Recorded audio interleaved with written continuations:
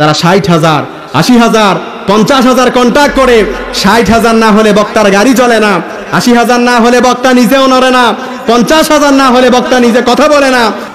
জাতি দেখতে পায়, যেই বক্তা ওয়াজ করে, এই বক্তার নিজের ভেতরে হেদায়তের ঘাটতি। কথা বলেন না কেন?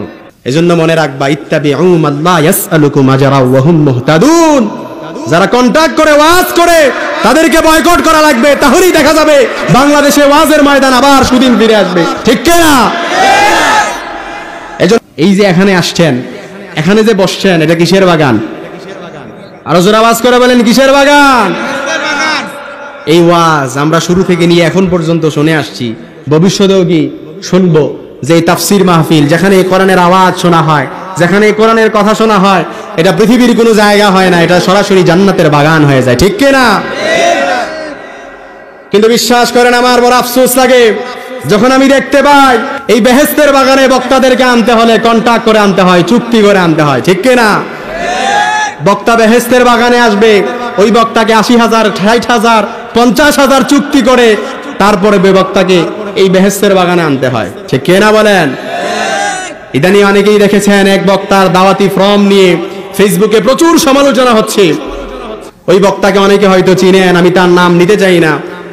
আমি বলব, আপনাদেরকে রিকোয়েস্ট করে বলব, শুধুমাত্র আপনাদের কাছে কিছু কথা রেখে যেতে চাই। ওই বক্তার নামে কলম ধরার আগে আমি বড় অবাক হলাম, যখন আমি দেখতে পাই ওই বক্তাকে নিয়ে চুক্তিবাদী সে নাকি চুক্তি করে, ওয়াজ ব্যবসা করে, চুক্তি করে, তারপর গলা কাটা ওয়াজ ব্যবসা তাকে অনেকে আখ্যা দিচ্ছে। কিন্তু আমি আমার বড় অবাক লাগে। যারা তার সমালোচনা করে, আমি দেখতে পাই তারাও এর থেকে বাহিরে নয়। কথা বলেন না কেন? কথা তো বলতে চাই না, কিন্তু না বলেও পারি না। আমি এম্মা জাহরুল ইসলামের নামে অনেকেই ফতুয়া জারি করে দিবে। অনেকেই আমার প্রতি রাগ করবেন, গুসা করবেন। অনেক আলোচকগণ আমার প্রতি রাগ করবেন, কিন্তু না বলেও পারি না। বাংলাদেশে এমন অনেক বক্তা আছে যারা চন্টাক করে, চুক্তি করে ষাট হাজার, আশি হাজার, পঞ্চাশ হাজার না হলে তার গাড়ি চলে না।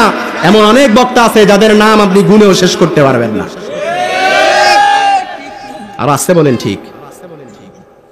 এজন্য মনে রাখো মুসলমান, এই বাংলার জমিনে কম ওয়াজ মাহফিল হয় না। প্রতি বছর প্রায় পাঁচ লক্ষ ওয়াজ মাহফিল এই বাংলার আনাচে কানাচে হচ্ছে।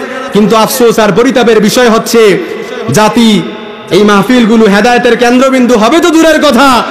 জাতি দেখতে পায়। যেই বক্তা ওয়াজ করে, এই বক্তার নিজের ভেতরে হেদায়েতের ঘাটতি। কথা বলেন না কেন? এজন্য জাতি কাদের কাছ থেকে ওয়াজ শুনবে? কোরআন তা ডিসিশন দিচ্ছে। কোরআন বলছে ইত্তাবিউ মাল্লা ইয়াসআলুকুম আজরা ওয়া হুম মুক্তাদুন।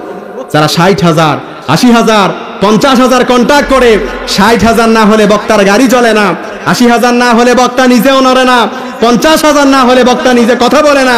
কোরআন ডিসিশন দিচ্ছে ওইসব বক্তাদের ওয়াজ দ্বারা জাতির কোনো ফায়দা হবে না, জাতির কোনো ফায়দা হবে না, জাতির কোনো ফায়দা হবে না। বড় জাতি আরও গুমরা হবে, ঠিক কি না? এজন্য অনেকে আমাকে বলে যে, হুজুর, আপনি কত টাকা কন্টাক্ট করেন? আপনি কত টাকা ওয়াজের জন্য কত টাকা নেন? অনেকে ফোন করে বলে, হুজুর, আপনাকে যদি দিনাজপুরে আনতে যাই আপনাকে যদি কুষ্টিয়াতে আনতে যাই আপনাকে যদি রংপুর রাজশাহীতে আনতে যাই তাহলে কত টাকা দিতে হবে? শুরুতেই ফোন করে তারপরে শুরু করে দেয়। যে হুজুর, কত টাকা লাগবে? আগে ভালো, আগে কথাবার্তা শেষ করে নেন। তারপর কি? আগে দিদা, পরে মিঠা, এটা ভালো। এই জন্য বলতে চাই, যারা ওয়াজ ব্যবসা করে, ওয়াজকে নিজের জন্য প্রফেশন নিয়ে নিয়েছে, এরকম অনেক আছে। দেখবেন কোনো একটা, আবার এরকম অনেক দেখা যায় যে কোন রকম বক্তার সমালোচনা পাইলেই, বক্তার খুদ পাইলেই তাকে নিয়ে ফেসবুকে লেখালেখি শুরু করে দেয়। সমালোচনা শুরু করে দেয়। ঠিক কিনা বলেন? আরও জোরে আওয়াজ করে বলেন, ঠিক কিনা? কথা রাইট আপনি বললেও রাইট না বললেও রাইট এজন্য অনেকে আমাকে নিয়েও দেখা যায় যে লেখে যে হুজুর কত টাকা ওয়াজ করে, কত টাকা নিয়ে, কত টাকা কন্ট্যাক্ট করে নিয়ে ওয়াজ করে। আজকে এই মাহফিলে যিনি অ্যারেঞ্জ করেছেন আমাকে যিনি এই প্রোগ্রামের জন্য দাওয়াত করেছেন ইনভাইট করেছেন আমার প্রিয় ভাই ইঞ্জিনিয়ার ওমর ফারুক ভাই। আমি ভাইকে বলতে চাই আপনি আমাকে এই যে এখানে নিয়ে আসছেন কত টাকা দিয়েছেন বলি কোনো কন্ট্যাক্ট করেছি আপনার সাথে? এজন্য আপনাদের বিভ্রান্তির জন্য আপনাদের ভুলটা নিরসন করার জন্য আপনার ভুলটা ভাঙানোর জন্য অনেকে মনে মনে করে যে আমরা যেহেতু ফেস ভ্যালু আছে আমরা যেহেতু ফেসবুকে পরিচিত সারা বাংলাদেশ, সারা বিশ্বে যেহেতু আমাদেরকে চিনে হুজুরে মনে হয় দাওয়াত দিতে গেলে এরকম পঞ্চাশ হাজার, ষাট হাজার মনে হয় গুনতে হয়। এজন্য মনে রাখবা হুম মুহতাদুন। যারা কন্টাক্ট করে, ওয়াজ করে, তাদেরকে বয়কট করা লাগবে, তাহলেই দেখা যাবে বাংলাদেশে ওয়াজের ময়দান আবার সুদিন ফিরে আসবে। ঠিক না